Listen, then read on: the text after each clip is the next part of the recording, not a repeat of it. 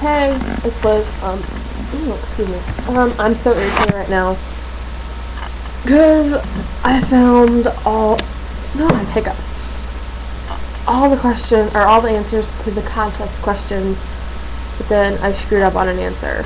I said it like the first time, then I screwed it up. Hopefully these people will stop bothering me. Okay. Number one. We all know that San Francisco is on the south side of the Golden Gate Bridge.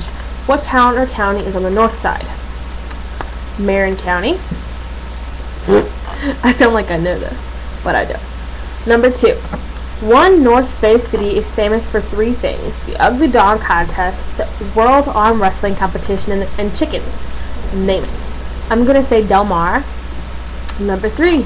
What famous nutty cartoonist made his home and ice skating rink in Sonoma County? Charles Schulz. Um, four. What's the name of the NASCAR track in Sonoma, California? For bonus points, give me the original and current names. I'm going to say it's Infineon Raceway now. It used to be Golden State Raceway and Sears Point Raceway. What is the name of the monument dedicated to San Francisco firefighters? Coit Tower. Number six. Who said the coldest winter I ever spent was a summer in San Francisco? I'm going to say Mark Twain.